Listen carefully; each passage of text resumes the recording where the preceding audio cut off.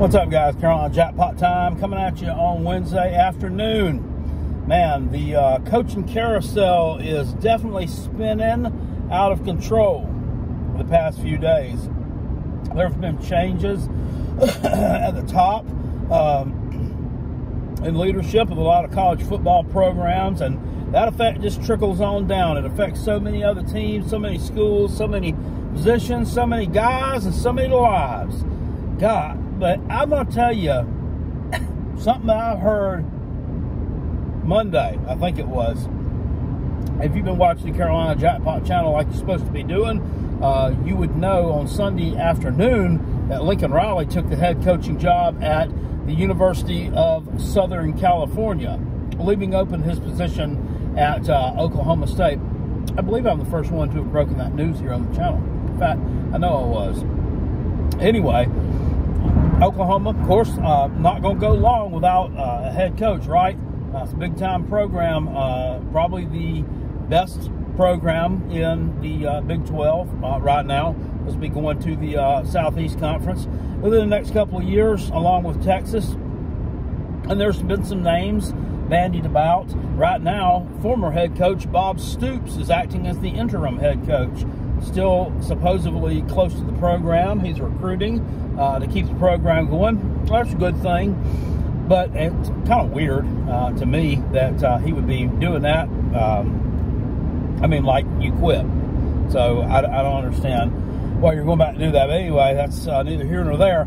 Shane Beamer, head coach uh, of the South Carolina Gamecocks, who just finished up the regular season with a six and six record. Of course, this past Saturday night, an abysmal, embarrassing blowout loss uh, to hated rival Clemson, 30 to 0. And I'm seeing rumors uh, that Shane Beamer may be possibly a candidate, may be courted, may be in discussion with uh, to be the next head coach at Oklahoma. And I, and I saw that, so I said that he may be going to Oklahoma, Carolina Jackpot. And I was like, as what? Football coach? I mean, whoa, come on now. Um, let's uh, let, let's pull the reins in just a little bit here. Uh, Oklahoma, are you seriously considering this? What are you doing? I mean, why? First of all, let me I'll give you a little bit of backstory. When Shane Beamer was hired as the head coach at South Carolina, I'm going to go on ahead and tell you right now, I didn't like the hire. people will give me hell on this channel in the comment section still. Uh, when I talk about Shane Beamer and how uh, how much I like him and how good of a job he's doing, or give him any kind of praise whatsoever. They're like, well, remember, you didn't want him, I hated him. I've said on multiple videos, uh, subsequent to that reaction initially, that I had gotten on board the Shane Beamer train, that I was going to support the guy as, uh, you know, long as he didn't do stupid boneheaded things as head coach and didn't make stupid boneheaded decisions. I was going to support him in the rebuilding project here at South Carolina. And I think so far he's done an okay job. So those people that you know put those in the comment section just proves to me that either number one uh, you don't watch the videos uh, all the way through, or number two you, you just uh, have a bad memory, uh, or you just read read the thumbnails and you don't listen to the video, which is uh, that's not the way it works. I like Shane Beamer, I really do, and don't get it twisted.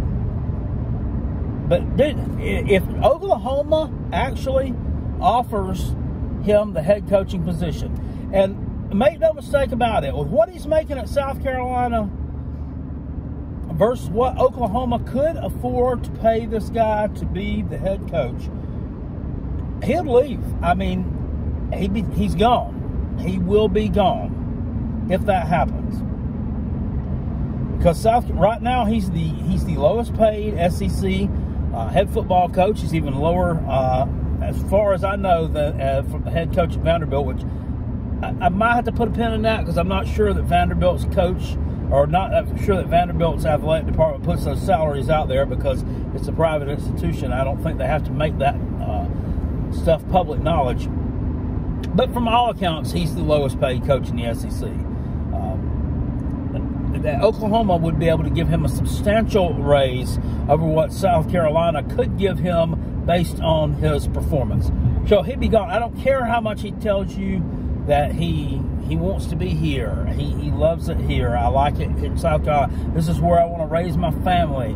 I want to see my son playing high school football uh, in the Columbia area. That's all coach speak. It's coach speak. You know what speaks louder than coach speak?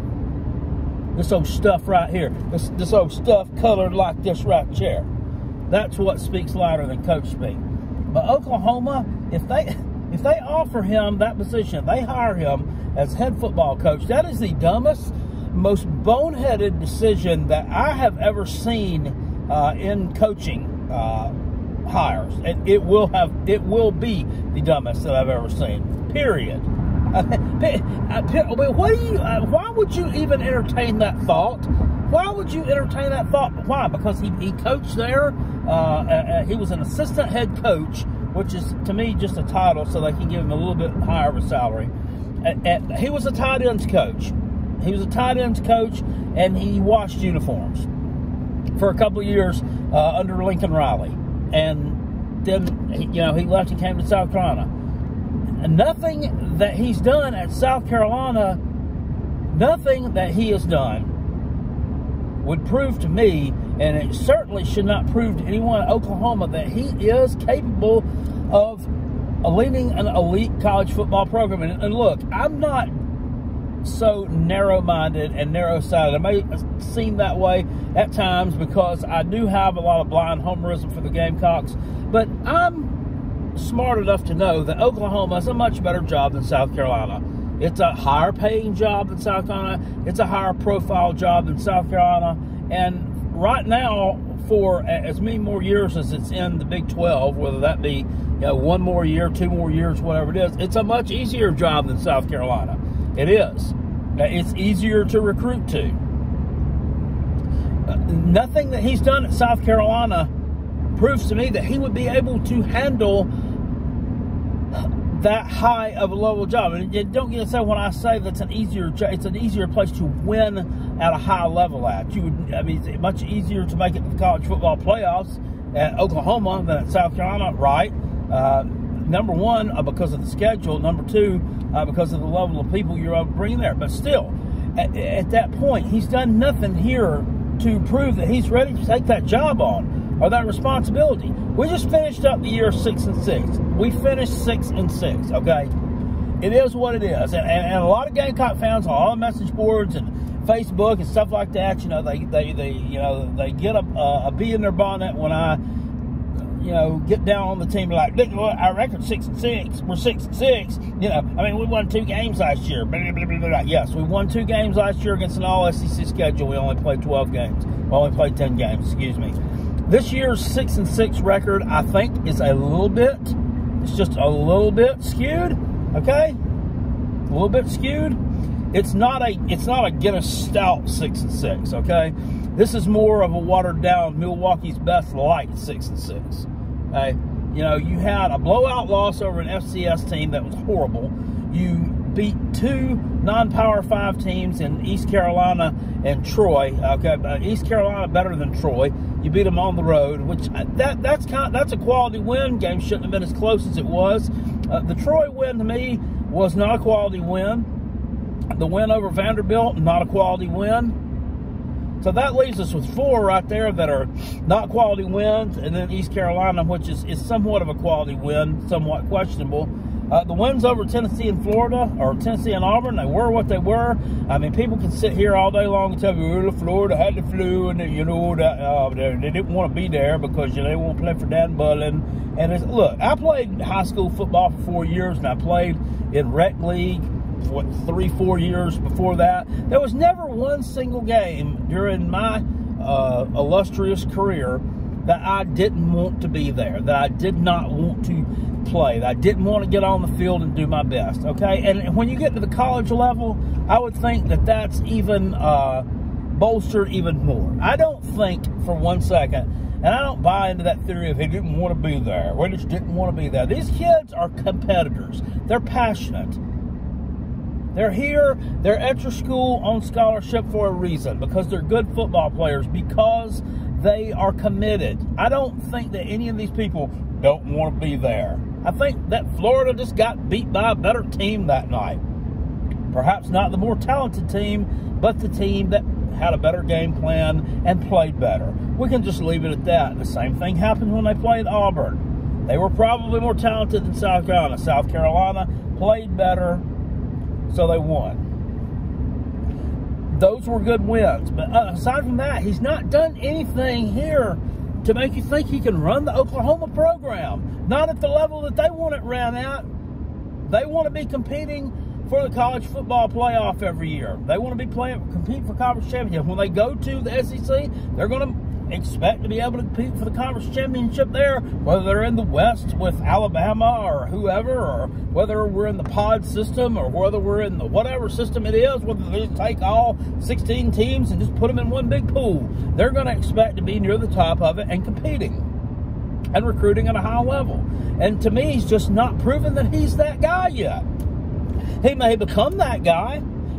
He may become that guy. He may become that guy soon.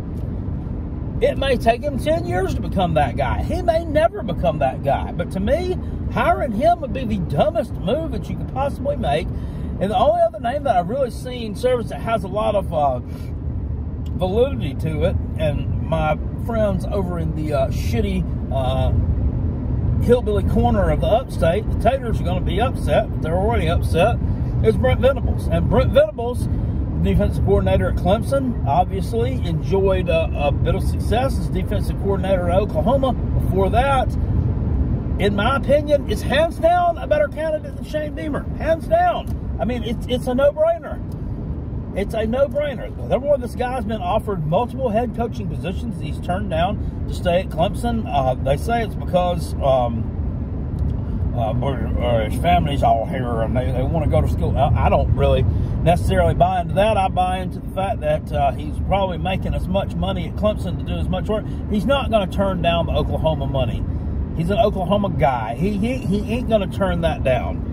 Okay, if he gets offered that job, Tater, he's going. And I'm sorry that he's just going. That's just the reality of the situation. And the reason I say that he's hands down a better hire than Beamer is because uh, the guy has coached at a very high level. And I don't mean a Power 5 level. He's coached teams that are playoff caliber at a championship level. And much as, eh, you know, I, I, I hate to just say that, I mean, facts are facts and the Taters have been playoff level slash championship level for quite a few years now. Left onto Barrington Crossing. This guy has been right in the middle of that, and his defenses have been uh, one of the major cogs in that wheel.